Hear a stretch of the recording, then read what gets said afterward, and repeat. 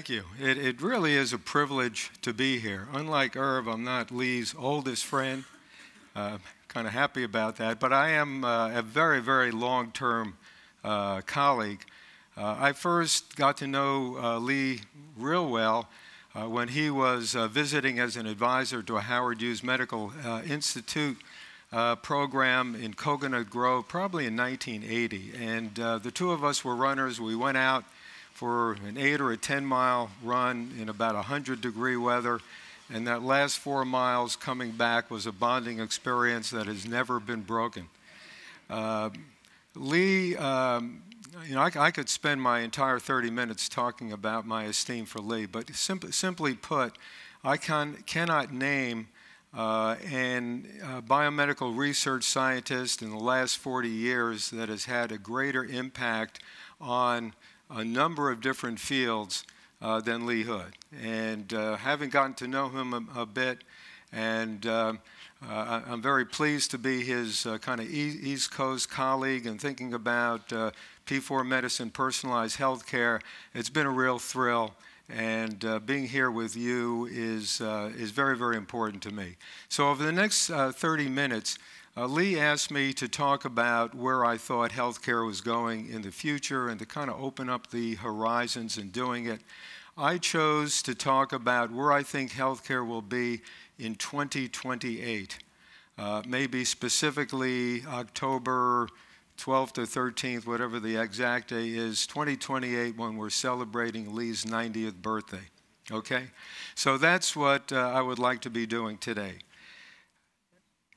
Now, uh, somebody, I guess Rod mentioned the best of times, the worst of times. Uh, and I really do believe that that is true uh, in healthcare. So, uh, what I'd like to talk about today is how we move from a reactive sporadic disease approach to healthcare, which still is what we are doing today, with even the most miraculous uh, advances uh, that we have heard about. and they are very, very important we still believe that we could move the approach to healthcare to a proactive, personalized, and ultimately consumer driven uh, healthcare system. Now, just a, just a bit of history. Clearly, science and technology is extremely important in moving how healthcare delivery occurs. And I, I, would call where we are now is at the early stages of a second great transformation in healthcare.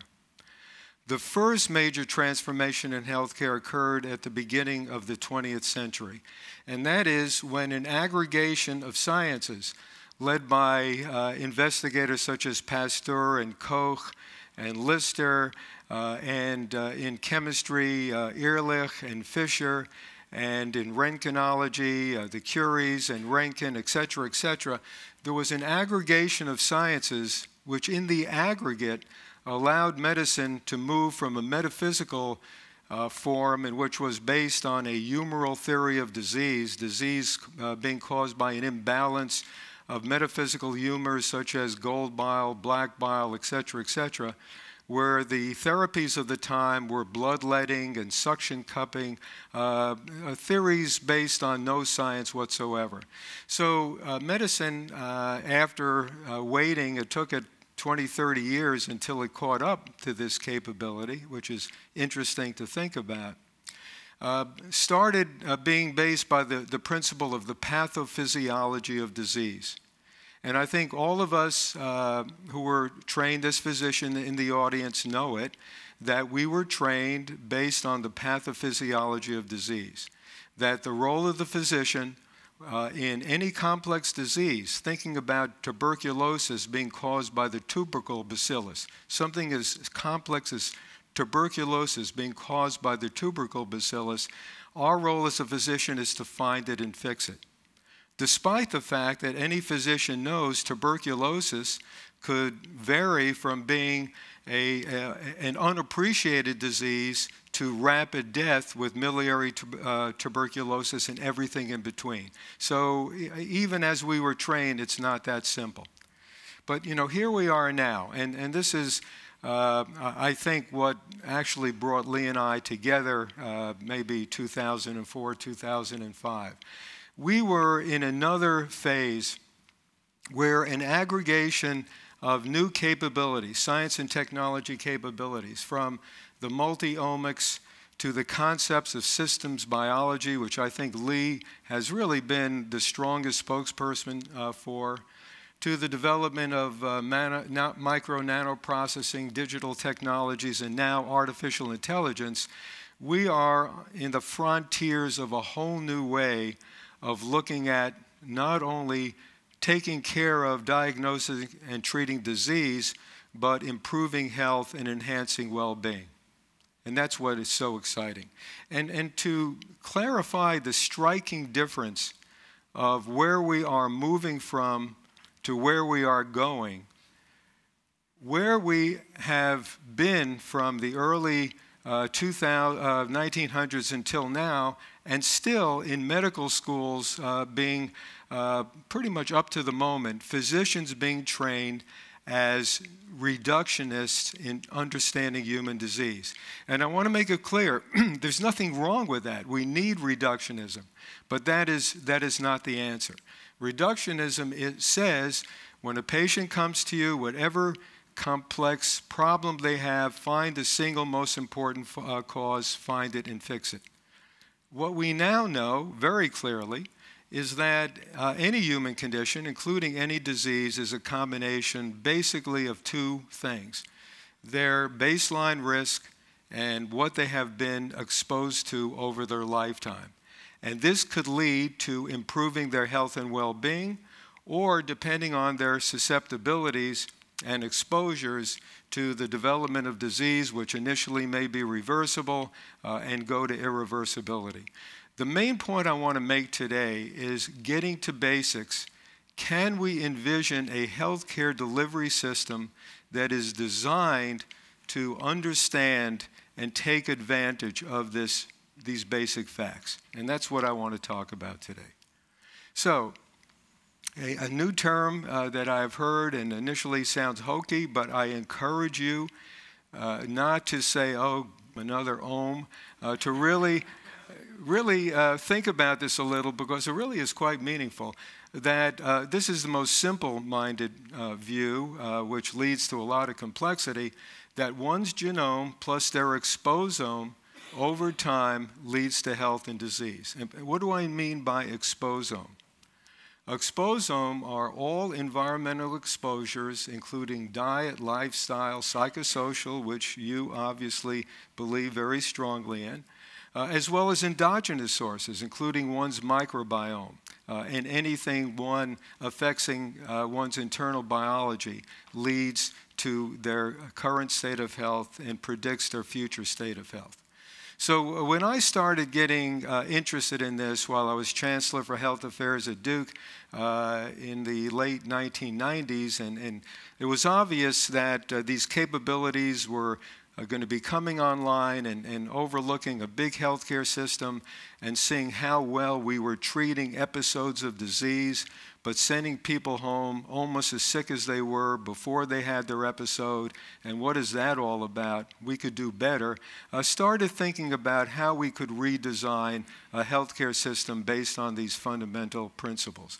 So uh, I came up with this uh, idea and tried to explain this concept to somebody who wasn't a physician that the development of any chronic disease is a function of one's uh, basic inheritance plus what they're exposed to over time. And that the longer one takes to intervene, if this is the development of the disease, the greater cost there is in reversing it and the, the uh, decreased likelihood there is of being reversible. This kind of simple minded uh, fact. But what was so ironic, and to a degree it still is, is that the major focus of the healthcare system in the United States today is far to the right of this curve, treating disease when it is well established.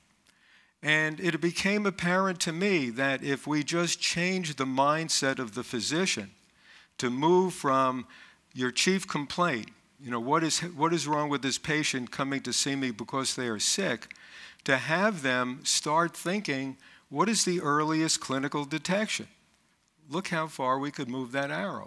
But with all the new capabilities of determining the development of disease before it occurs with molecular detection, we could move it way to the left. And then, if we could truly understand one's baseline risk, we, that may not be and won't be determinant necessarily of them developing a disease, but gives us uh, a understanding of an individual's risk just thinking about that, you just say, wow, you know, that gets pretty damn exciting. That's an interesting way to think about healthcare. And we started thinking about that. Uh, and the more we thought about it, we thought that, gee, this, as a model, this really works as developing different approaches to healthcare. So while an individual is seemingly healthy, we could be thinking about, well, let's quantify their baseline risks and let's understand for them uh, what are the approaches that maximize their health and well being, uh, being appreciative of this individual's risks and, and how great they are if we could quantify them. We would have the opportunity to monitor progression uh, by looking at various biomarkers. If a disease developed, we would use every strategy, including what Irv talked about, such exciting strategies to treat diseases that have emerged. So we could be thinking about the impact of this way of thinking in health enhancement, disease prevention, and disease management. It, it tends to, to hold up. But another factor that is extremely important, and again, this is all cartoon made up, but, but it does seem to, to work. So if you think about any inflection curve for any disease, and for a moment, moment think about cardiovascular disease. And let's say the red inflection curve may be the average development of cardiovascular disease. But based on the individual's behavior, their nutrition, uh, substance uh, risk exposure, exercise, stress, psychosocial environment, depending on what they do, what they're exposed to, the development of the disease may occur much more quickly. And an uh, individual can have a heart attack in their 40s. On the other hand, somebody with a susceptibility to cardiovascular disease doing all the right things and potentially taking a statin uh, might uh, move the, the curve all the way to the right so it's irrelevant. They live to 105 and, and die of frailty. Uh, so um, this becomes very important in terms of thinking about the development of a healthcare system. What I'd like to do now is pause for a moment and not shut off the slides. How in the world did I do that? Okay. Um, it's a very powerful little tool here. I'll try to be more careful. So I'd like to uh, then, then say, uh, move from this to say, where, where are we now? Where we are now, uh, again, the best of times and the worst of times. In terms of the best of times, the ability to develop new capabilities of treating disease, uh, and emerging uh, capabilities has never been better. But if you look at it from the perspective of the individual, the individual uh, having access to health care, most health care is delivered by traditional services. Uh, this is a three point, roughly $3.5 trillion business. Uh, out of that business, most of the money uh, really is in specialty care, hospital care, and uh, emergency care. So there is a tremendous density of healthcare resources focused on what we might call sick care. Uh, and um, uh, it, it's done reasonably well. But you know, what I could tell you as Chancellor Emer Emeritus at Duke, uh, people say, what is that job? What does it entail? Well, what it entails for me is having people call me on the phone and say, I have this problem or that problem. What do I do about it? Where do I go? I want to go to Duke. Who do I talk to? And it really takes that hand holding to navigate the system because it's so damn complex. Uh, so people are generally confused. Now, you know, we know we have a, a, a very forward-looking healthcare here, system here that is trying to do some, something about it, but very few are. navigating that system. But if you think about all the other capabilities now with digital capabilities and uh, uh, an awful lot of health and wellness programs and community resources, they're available, but the consumer is very confused. There are new entrants, and this is very exciting. Uh, in addition to the major providers of healthcare, which would be the integrated delivery systems, uh, we now have new players. Uh, Google is uh, investing a tremendous amount of money uh, in many areas of healthcare, uh, including artificial intelligence. And as you know, Duke and Stanford are collaborating in, uh, in, a, in a study uh, with Verily, we're, we're sequencing, whole genome sequencing of 10,000 people, giving them every device in the world get, that could measure everything and trying to call, figure out what causes what. But, so we have a whole new uh, series of entrants that are trying to disrupt the system. Uh, with Google and Apple, IBM, Walgreens, CVS, uh, Fitbit, all kinds of newcos, et cetera, et cetera. Uh, so we know that the system is, li- uh, is very likely to be disrupted. A $3.5 trillion system, highly inefficient, very little satisfaction on the part of the consumer or the payer. Uh, amazing opportunity. It will be disrupted, but the question is how. Now, I'd like to um, use the remainder of my time talking about where I think healthcare is going and how we could try to envision where it's going and maybe try to nudge it in going in a better uh, direction. And getting back to, ba to basic principles, you know, what are the underpinning capabilities that allow the development of an approach to healthcare? Very simply put, technologies. By technologies, I don't mean simply technical uh, instruments or, or drugs. I'm thinking about all the capabilities that we could bring to bear about understanding uh, how one enhances health and well being, as well as all the tools that are necessary to deliver health care that way. So, that, that is one factor. I'll talk about that uh, in, in a moment in terms of all the new things that we're capable of doing. But then it's the delivery system itself. You know, so what is the approach to care? Is the approach to care primarily uh, an individual waiting till they get sick? Uh, and if they get sick, uh, come into the healthcare system, and is it a primary care uh, physician or urgent care or whatever? How, how is healthcare delivery? And, and today, uh, I would say the delivery mechanism is primarily the way it's supposed to work, the patient sees a, uh, uh, sees a primary care physician. Primary uh, care physician does an evaluation, distributes within the delivery system where the patient needs to go. So that, that's basically the current approach if it were able to work. But there are other approaches, and we could talk about that. And the personalized healthcare approach is another approach. And then the last and the most overlooked and maybe the most important part of the entire system is the individual. What the individual does, what they care about. And quite frankly, most people don't spend hardly any amount of time thinking about their health. It's something that's taken for granted unless things go wrong. Individuals that have something go wrong, being involved still now in overseeing uh, the uh, treatment of many, many people with type 2 diabetes through some of the programs that we're doing. The biggest problem that we have with even the most innovative, innovative approaches to care is having people say, Yeah, I buy in. You know, I'm willing to do the things that need to be done to get, to get me better. So if you uh, think about all the advances that we may ever bring to bear in healthcare and what kind of difference they would make, just be a little bit skeptical by saying, well, let's think about uh, type 2 diabetes or pre diabetes. We're able to do so much with this disease, really. I'm not sure how many more advances we need.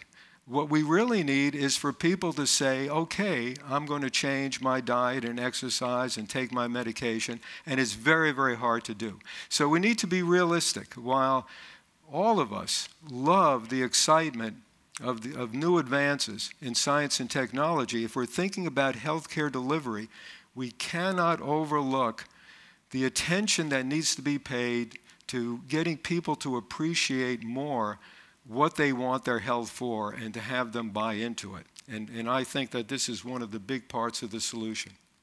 Okay, so now the exciting part.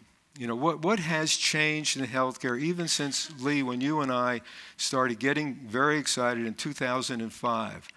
The, the areas which I did not anticipate, you, you probably did, but I did not anticipate the importance of, let's say, uh, data, massive data in the cloud, artificial intelligence, and the abil ability to learn from massive amounts of information. But the, the development of really good predictive algorithms, these are still in the infancy. But with all of the efforts that are ongoing to look at many people, whole genome sequencing, measuring everything they can about them, comprehensively, putting it together, analyzing, and seeing what makes the difference. Uh, these are very exciting. Artificial intelligence.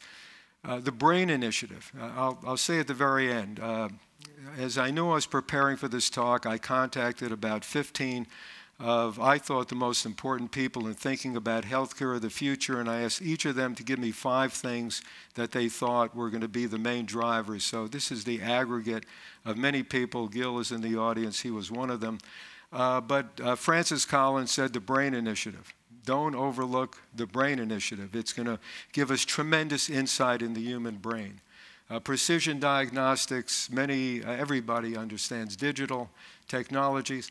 The development of robotics and avatars and augmented reality and the ability to bring healthcare out to the individual. 3D printing to be able uh, to make uh, virtually any uh, body part or any organ, any tissue.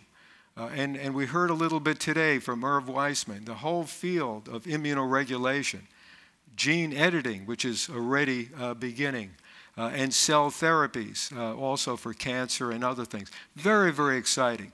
So uh, I believe we have the technologies we need to transform healthcare in a very positive way. But what about the delivery? You know, here I just want to get to basics. The way physicians are still trained uh, is based on disease care, where when you go to see a physician, uh, if it isn't for your annual physical, which generally nowadays are worthless, uh, but a uh, physician will generally say, What brought you here to see me? Uh, they are looking for your chief complaint. And they do this beautiful root cause analysis of failure to determine your chief complaint and to reverse it. It really is a beautiful thing to see. We cannot stop doing this uh, when it needs to be done. But the model that we came up and that we've been uh, developing and, and working in close collaboration with the Veterans Hospital Administration is an approach to care that we think is a general approach to care, including health and well being, where we start with a current assessment of the individual's health using all the best tools to try to understand it. And then, with any health risk assessment tools that are relevant and available, we'll try to anticipate that individual's risks going forward we spend a lot of time trying to enhance that patient's engagement. We do things including mindful, mindfulness meditation to get individuals at the very early part of their, their engagement with us to be thinking about what is the most important things that they want their health for. Why do they want their health? And a very common answer is so I could play with my grandchildren every other Sunday and get down on the rug with them and be able to stand back up. And we say that's a good thing, and, and we'll try to work with you on that. We develop specific wellness and therapeutic goals and a plan, a specific plan with what we call SMART goals, specific, measurable, actionable, et cetera, et cetera. And then uh, determine what is it we're going to track success or not, and we coordinate care. And we believe there may be other models, but we, there are a lot of foundational principles that we think will be incorporated by any model of proactive uh, healthcare delivery. And then, you know, what is getting, you know, we, we think really exciting. Uh, Irv and I were talking about this a little bit last night. And that is being able to understand the individual, who they are, and what their needs are. Uh, and we're being able to do this much more systematically with a lot more capability and, uh, uh, and, and precision in knowing that individual. And I'll just say uh, genomics. We're, we're not there yet, but we are getting there, and we're going to get there uh, probably more quickly than uh, many people think. Uh, understanding the microbiome. We just had a visit from Jeff Gordon a couple of weeks ago. So exciting as to, uh, at least roughly speaking, uh, what one could learn from an individual's microbiome.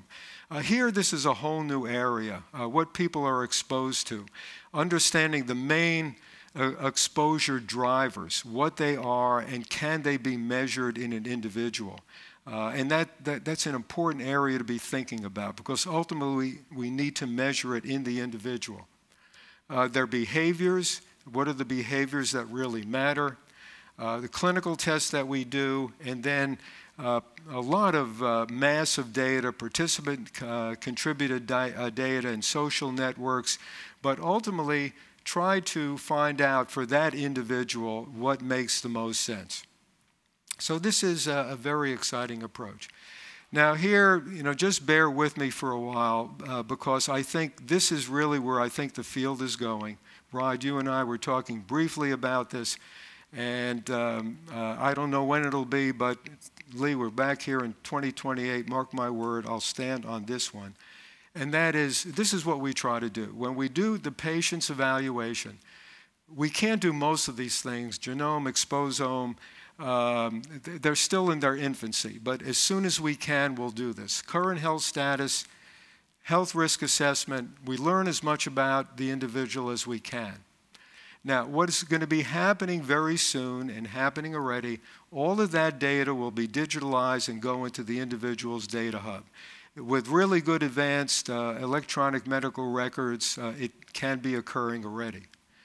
This data hub can then be queried against aggregated patient libraries, massive amounts of data, and using risk models based on these data over time, learning what matters and doesn't matter, so that that can then inform that individual's risk.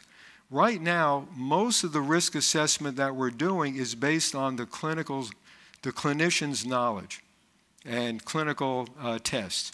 But we are moving rapidly with massive data in the cloud, more and more aggregation of data to refine that and use risk models. That will then be used to develop the individual's personal health plan.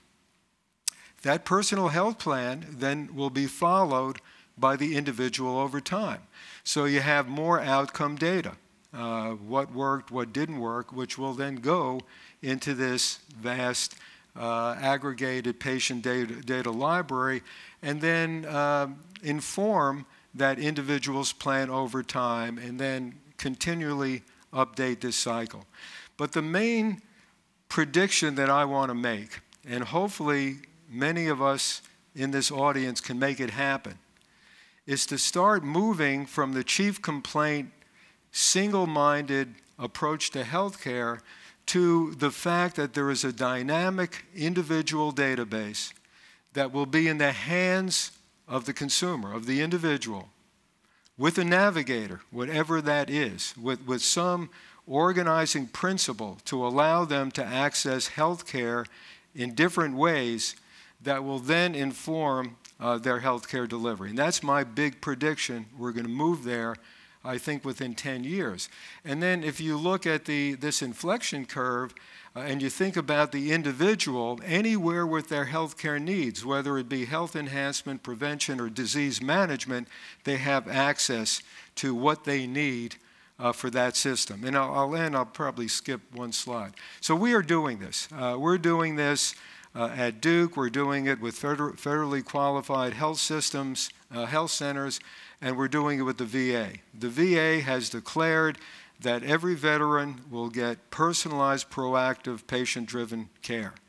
I was with the Secretary, uh, Robert Wilkie, two, yesterday or two days ago. You lose time when you come out here to Seattle. I think it was two days ago. And he said he is committed to this approach. We'll see. It's very, very complicated.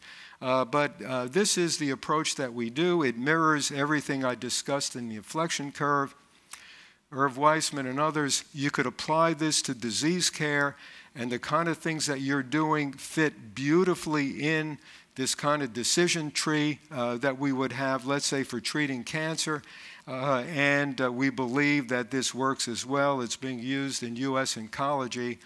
So I predict uh, when we get back together again, we will have a much happier consumer of healthcare. They will have their personal data hub and a personal health plan. and maybe in their smartphone. They will interact uh, through the cloud, and there will be the smartest in this audience will figure out who that crystallizing navigator is going to be and how that's going to relate them to traditional services.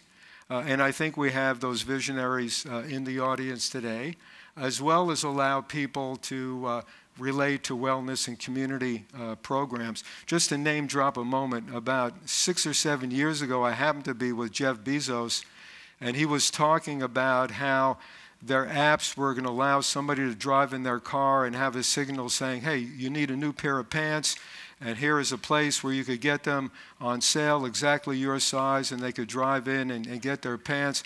And I said, that's terrific, Jeff, but why don't you do it with a health plan? Uh, and I think he never asked me again, but he's probably doing it and will make another trillion dollars. Uh, but I think uh, that it would be a good thing to be thinking about what is the aggregation principle that allows this to happen? So uh, let me end by saying uh, 2028, I almost guarantee it, healthcare will be more personalized, it'll be far more precise, it'll be far more participatory. People will be involved in their care with or without a physician. There'll be a lot more crowdsourcing. It'll be wherever uh, we no longer need to have uh, individuals come to a physical location except for uh, specific reasons. It could be uh, any time, uh, and that all of this will roll up uh, to population health as well. And that, let me end by saying by Machiavelli, all of us in the room know this, that whenever you're trying to start a revolution or do something new, uh, you never get uh, support from anybody who's already benefiting from the system as it exists. As a matter of fact, they want to hold you down. And most people don't have a clue what you're doing, so they're not there to support you. So it sometimes could be very lonely. But I'm also happy uh, to uh, say what Charles Darwin said, uh, and that it is not the strongest of the, specie uh, of the species that survives, including massive uh, healthcare providers that are asleep at the switch. Uh, it's the one that's most responsive to change. And I'd like to thank, uh, these are the individuals that contributed uh, one way or another uh, to some of my thinking. I'd like to thank them all, uh, but mainly thank you, Lee, uh, for being here 80 years and everything that you're doing. And I'll look forward to the next 10 uh, and continuing to collaborate with you. Thank you very much.